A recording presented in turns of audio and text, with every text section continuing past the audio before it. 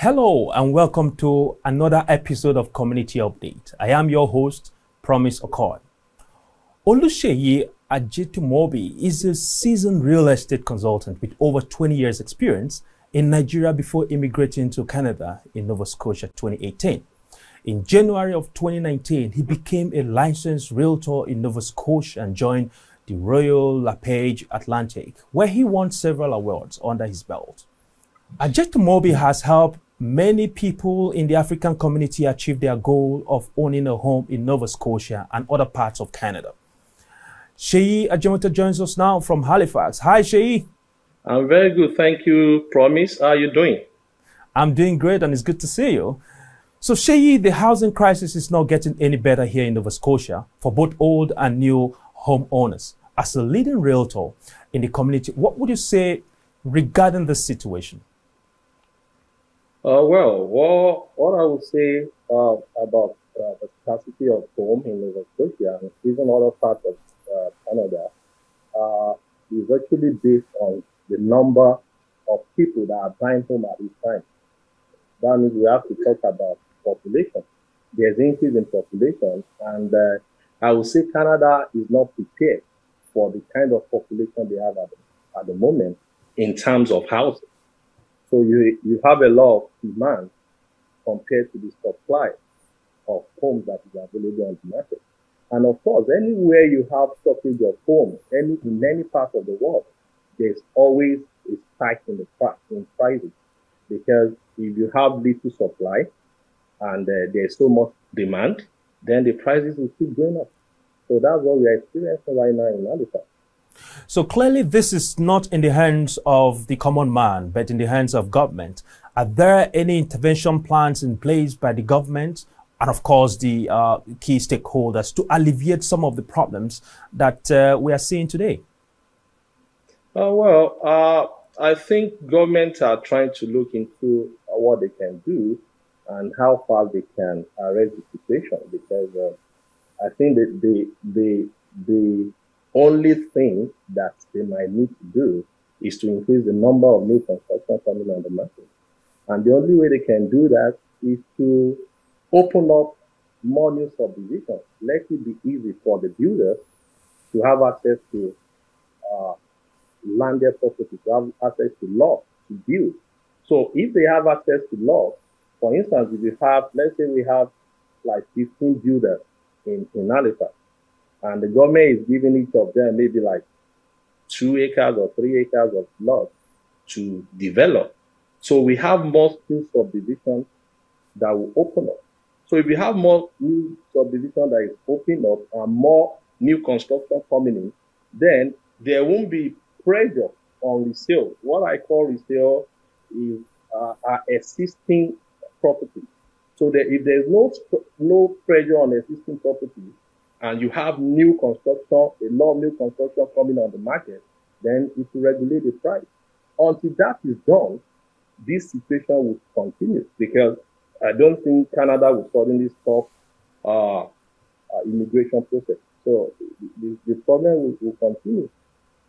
Uh, definitely, uh, that is our fears now. So, for example, if someone uh, is looking to get a property here in Nova Scotia, say the HRM or the environs, what are the steps? What are the processes this person must bear in mind uh, while going in for a property? Okay, uh, well, the first step is for for the person to be pre-approved for mortgage. You want to be sure that you are even eligible to get a mortgage. Now, when you pre-approve, I always tell people that with this market, you need to have it at the back of your mind that you you will not be thinking about uh, the best home that you want. It's this part of the world we're not talking about. I want my dream home. You need to know that what you are pre-approved for or what your budget is is able to buy whatever is available to you. It's not about what you think you can get. So if you pre-approve, for instance, I, I, I will give you an instance. If you pre-approve for, let's say, 500,000 with the market we are in right now that is really hot and crazy. If you have to approve for 500,000 and you're looking at buying a home, maybe a three bedroom house, Some will say they want a detached house. That is a house that is standing on its own. You want a, a three bedroom detached house, all the, the rooms on the upper floor. You have the master bedroom ensuite. You have the two other rooms that have a common bathroom. On the main floor, you have uh, a powder room or a guest, a, a guest toilet. And you want to have a basement that has a rec room and maybe a bedroom and a full bathroom because you're looking at, oh, maybe you're renting your basement to, to augment your bill by your, your mortgage payment. So if you have a budget of 500,000, you might not be able to get that kind of home with this market because of course you, you have a lot of listings that are listed within that price range. But by the time the, the competition war set in, you might not be able to achieve it with 500,000. So what I would advise people is with your budget, if you are able to get a home, maybe a home that has just two full baths, maybe a bath on the upper floor, and maybe a bathroom in the basement, you can buy it for now so that you know you are a homeowner. You just give yourself a target of a year or, or one and a half years, then you can sell that home and you'll be able to buy a better home or the kind of home you really want. So that, that that's my take on that. Right, that's a good advice there. So a lot of people describe the current situation as the seller's market uh, uh, situation. So a lot of people also are taking advantage of the current situation and they're selling up properties, some for profit purposes, for benefits, and some for investment. And uh, there definitely has to be some sort of uh, pros and cons, uh, you know, that goes with it. So what would be those concerns that you want to outlay so that people will be aware of? Okay, now when you're experiencing the seller's market, now there are uh, some points that you need to keep in mind when you're buying a home. Now, when you're buying a home, there are some conditions that you need to meet as a as a buyer. Yeah, that that's what we call buyer's condition. You want to buy a home, you're looking at maybe you're going to do a home inspection, you're looking at your financing, you're looking at insurance and all of that. With this market, for you to be able to win a bid when you put in an offer for a home, you might need to look away from some of these conditions so that you, your, your offer will be strong. For instance, you might want to look away from uh, doing an home inspection, which might not be too good for the buyer. But that is, that is, that, that is where we find ourselves with this market. Then you want to look away from home inspection, your financing cost might not be there because you are sure that, oh, you've done your pre-approval and with your pre-approval, it is sure that you're going to get financing. Then you want to take out the financing clause, the insurance clause is not there, and you're looking at your condition date, maybe you're leaving it for like a day or two, so that your your offer can be strong. And when you have strong offers with without all these conditions, you stand a better chance for you to win the bid. Of course, with a higher bid, higher price being offered. That that there's no uh, rocket science about what you're going to offer for any home. Of course, you just have to put your best foot forward in this market.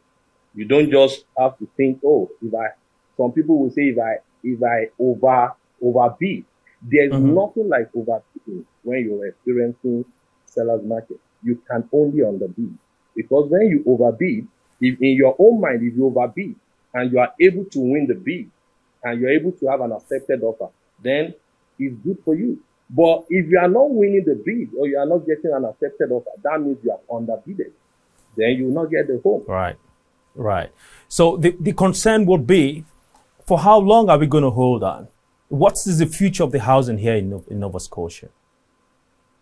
Uh, well, uh, what I can say is we the way we're looking at it, it's uh, it's going to continue like this at least for another one year or two until even if uh, the government comes with that program, which I will call a joint venture with builders, and they have to build homes, uh, different categories of homes, you know, with different kinds of finishing. Before that can go around in the in this uh, society or community, it will take a bit of time.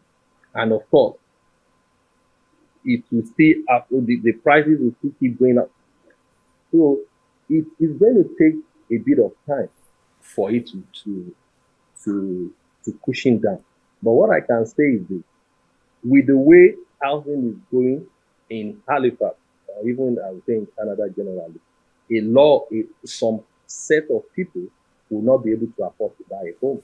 Because if you are, if you have a low down, if you have a low uh, pre-approval, maybe people that are within the pre-approval of three fifty, four hundred thousand dollars, and if you are not careful, you might not be able to buy a home, especially when you are looking at the kind of home that, oh, maybe my friend bought this kind of home and that's the kind of home I want to buy. And you're looking at it, oh, this is the kind of location I'm looking at. Some people would criticize that, oh, like in, in our own, in our own society, some people will say, I don't like Springfield, I prefer Bedford. Some will say, I prefer Rockingham. If you start thinking that way, oh, you might not be able to buy a home in this situation. So much fear out there. But before I let you go, Shay, you're a very busy person, and our viewers want to know what advice do you have for them finally before we let you go? Yes, my advice to to buyers out there, because I will center this around buyers because it's, it's seller's market, is do your pre-approval. Uh, and like I said earlier, make sure you're not thinking about the best home to buy. If you start thinking about the best home to buy, you might be missing out. Don't put your mind at it that it must be a detached. Some people will say, I don't want a townhouse. I don't want a semi-detached. I want a detached. That is not, we are not in that era now. You, you, you don't have to think that it must be this kind of house. This is the kind of uh, feature I want in my home. You might not be able to achieve that with this kind of market, with the market we are in right now. Because I can tell you in the market space right now, I've written offers in the past two weeks where you are competing with other 50 buyers for a home. If you have to compete with 50 buyers, how much can you compete? how much can you compete? now you are competing with people that might have even a better and bigger pre-approval than you. If you're looking Absolutely. at a situation where someone has a pre-approval of 700,000 and you, you have a pre-approval of 450,000, a home is listed for 350. With your 450, you think, okay, I want to offer 450. The other guy that has 700 is ready to offer 550. Then you cannot, you cannot, you can, you cannot even compete with him. So you want to look at it that uh, you're not looking at everything you want in a house. You're not comparing yourself to the other man that bought his home maybe in 2019, that he bought his home for 250,000. Because that yeah. kind of home that was bought for yeah. 250,000 in 2019, you cannot get it. You might be looking at 600,000 to buy that kind of home at this moment. So you Certainly. don't want to start comparing yourself to that kind of person. You have to be, you have to be real. You have to be, to be real with the markets. And secondly, I will advise uh, our people. I'm talking about the African community right now. I will advise our people that uh, it is buying home here is not like where we are coming from in Africa. It's not like you're buying a home to keep for your kids, or you say, "Oh, my home is going to inherit this home." No, you can, in your lifetime, here in Canada, you can buy as many, as much as 10 homes in your lifetime. You can buy and resell and buy another one. So you don't need to keep in mind that, oh, this home must be the best and perfect home I need to buy. No. Just right. buy what you are able to buy now. Make right. sure you're living with this market, make sure you're living a gap of about a hundred to about a 150,000 that you, you above what the home is listed for so that you can compare very well in, in the marketplace. There are a lot of community right now that are doing very well with this competition. Look at the Indian community because they come together. We call them, they do majak buying. They come together. Mm. You can see families coming together. I don't know how they live together anyway. If you have two, like you have two people that we are pre-approved for maybe 500 or 600,000 each, and they are coming together to form a, a bond to, to be a, a single buyer. Then their strength to buy, their ability to buy increases. Then they might be able to be able to, they might be able to, to buy at the range of a million dollars. Compare wow. to someone that has just a pre-approval of 450 or 500,000. You and your wife, maybe what you have is just 450,000. Yeah, How do so you want to compare with that kind of person? Clearly, that's that's a smart way for people on the other side. Well, Shay, thank you so much for your time. Thank you for having me, Promise. Thank you. Yes, so that was Shay joining us from Halifax. Uh, he's a real a realtor, a prominent one within this area.